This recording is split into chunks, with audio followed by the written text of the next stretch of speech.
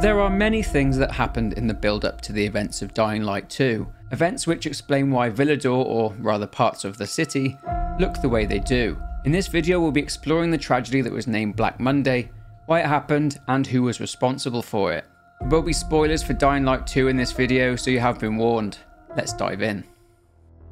Firstly, it seems that there's some confusion going around about the outbreaks. When they occurred, which one had a vaccine made for it, and which one contributed to the downfall of civilization.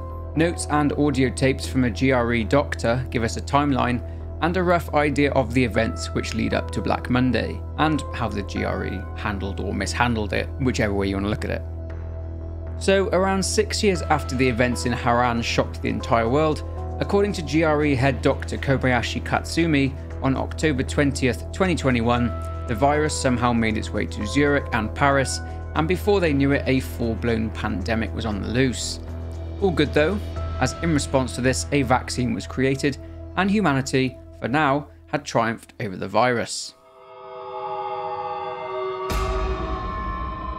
Two months after Dr. Katsumi's first report, after being told to shutter their labs earlier in the year due to their involvement in the Harran virus weaponization scandal, the GRE, after secretly continuing their research on the virus, suffered a leak from their lab near Geneva, Switzerland.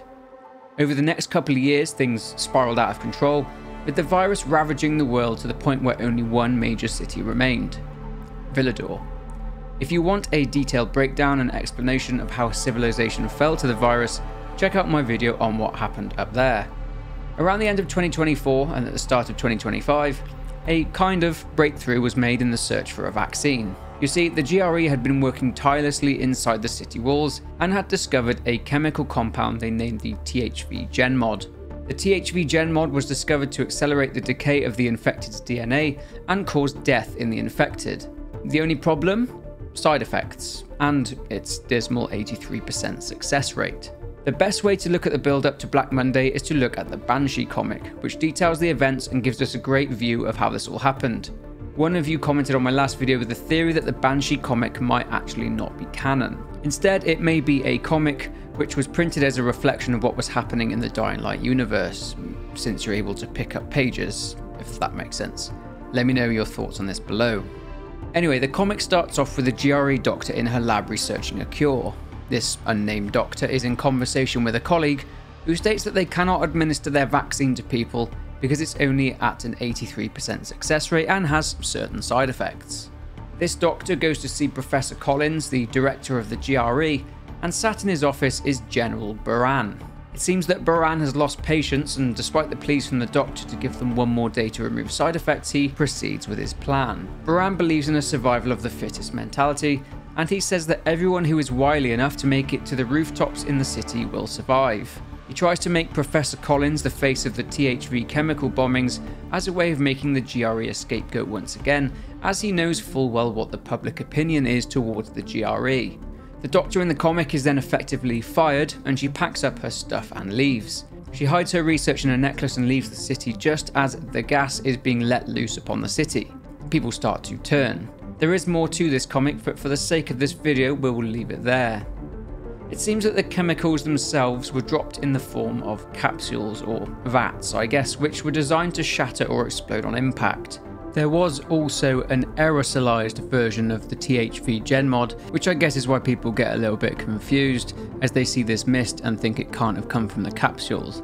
Therefore, I believe the THV Gen mod in form of the capsules is completely different to the aerosolized version, which was in fact the vaccine, and the chemicals were used to kill the infected.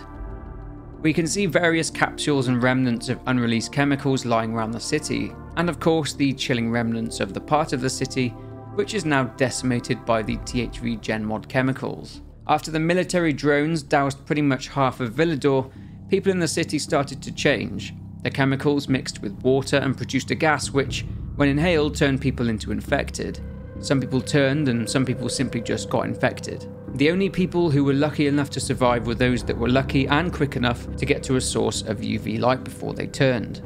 The chemicals got underground and killed basically every living plant on street level, which is why the streets are basically dead and the plant growth on the rooftops is thriving. The streets are basically the corpse of civilization. So that explains what happened and how the city came to be covered in THV chemicals.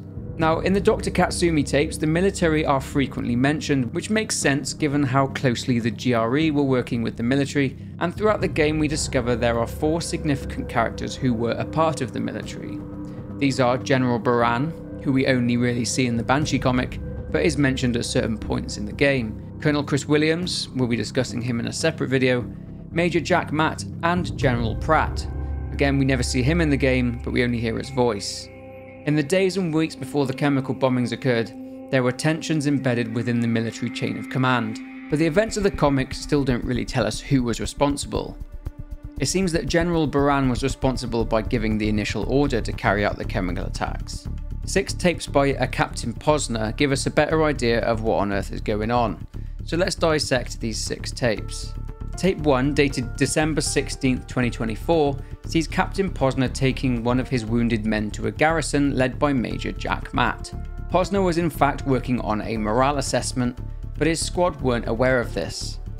Posner reveals that General Pratt has died, but he states that it has not really had an impact on any of the men. This was due to General Pratt not really being respected by the men as a result of his poor handling of the pandemic response and his poor leadership. Posner goes on to state that the men instead have a lot of respect for Colonel Williams. Posner also goes on to state that Jack Matt has a group of soldiers loyal to him and only him. Posner remarks that Major Matt seems to revel in his power, but not only that, he behaves as a man who only seeks more power. Tape 2, dated January 3rd, 2025, around two weeks after his last report, Posner states that after getting some of Matt's men drunk, they tell him that Major Matt has a deep rooted hatred for Colonel Williams. This deep rooted hatred is revealed to be based on the fact that Major Matt didn't agree with the plan to spread the THV chemicals onto the city. We hear on the tape that Jack Matt thought the bombardment itself was too risky, as they only really had one last shot at saving the city itself. Tape 3, dated January 6, 2025, the day of the chemical bombings, states that the operation was a huge failure and Posner describes it as a tragedy. Posner also states that the chemicals seemed to kill the infected at first, but then they simply just got up as if reanimated by the chemicals. This is very likely what gave birth to special infected such as demolishers, banshees, and howlers. There are more, but you get the idea. Anyway, Posner and his team went to a nearby outpost to restock their ammunition and found Major Matt's squad there, but most of them had died. Posner reveals that Matt received no orders from Williams to evacuate and I guess no heads up to inform him of the imminent bombardment. Posner asks the colonel why they were not evacuated. Tape 4, dated February 10th, 2025, Posner reveals that Jack Matt is leading a rebellion. Essentially, the army has been split down the middle, with many soldiers deserting their posts and joining Matt's rebellion, which of course would go on to become known as the Peacekeepers. The reason for the rebellion was that Matt made his people believe that Williams intentionally left Major Matt in the dark by not telling him to evacuate. However, a major bombshell, excuse the pun, lands when Posner reveals that Matt did in fact receive the order but chose to ignore it, and he's desperate to keep it a secret. Take a listen. They think that you intentionally neglected to inform Matt of the evacuation and left his squad to die. They don't know that Matt, according to my investigation, ignored the order and is responsible for the tragedy himself. And he certainly doesn't want anyone to know about it. Tape goes on to say that Matt has joined forces with Juan Reyna, who led a group called the Revolutionary Committee. A civil war broke out inside Old Villedor. Posner realizes that they have to kill Major Matt as soon as possible. Tape 5, dated May 7, 2025, states that three months later, Jack Matt's peacekeepers have set up base on an old container ship which was originally used to bring rations to the city. Posner continues with the basis that Jack Matt is a traitor for allowing his own people to die, but the fact remains that none of his peacekeepers know. Posner reveals that Matt wants the colonel dead in order to keep the truth about himself hidden. The need to silence Jack Matt becomes even more important. The final tape, tape 6, dated June 11th, 2025, shows us that Posner is gravely injured after being stabbed by Major Matt. He then dies. It could well be that Colonel Williams never got these tapes, given that we find them scattered around the city. He definitely could have used the tapes to prove he wasn't responsible for killing Jack Matt's squad. Here's what I think. At one point in the game, it's revealed that Jack Matt is sick. Very sick. Terminal cancer, in fact. Although we don't know the THV Genmod side effects themselves, it's certainly possible that Jack Matt inhaled some of the gas and this led to him developing cancer. He is coughing a lot, which is suggestive of lung cancer, and a side note is at the start of the game, Spike seems to be coughing too, but I don't want to read too much into that. I think that Colonel Williams definitely carried out the bombardment, but only after the orders came from General Buran. But why on earth did Matt not pull his men out and evacuate? Did he purposely sabotage his own squad just as a way to get Colonel Williams out of the picture so he could take control of the city? Remember, Posner did say that Matt was fixated on power, so it seems very plausible that this would be a way that he would try to achieve that.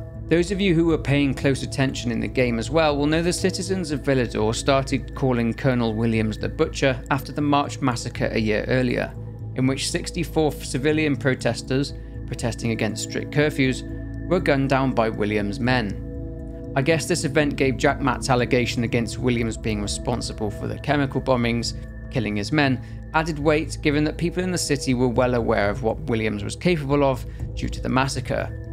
A perfect scapegoat, if you will. However, an interesting revelation occurs in the game when Juan, if hung as a traitor by Jack Matt, accuses Matt of carrying out the bombings himself. Yes, I spoke with the colonel but only to save the city. The person you call the Butcher, he's innocent. The true Butcher is right there, on this ship. What the hell? What is he talking about? Open your eyes! Matt is gambling with our lives as he did 11 years ago, when he killed half the city. Because of his hubris, the military failed to evacuate the city. When pressed on this, Matt just replies, The condemned will say anything to save themselves. So who do you think is really responsible? Again, I'd be very keen to hear your thoughts and theories below.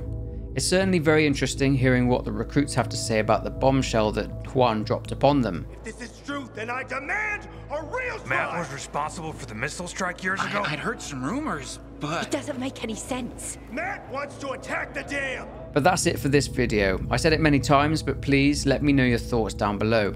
Leave a like on the video and subscribe if you aren't already. But for now, take care and I will see you in the next one.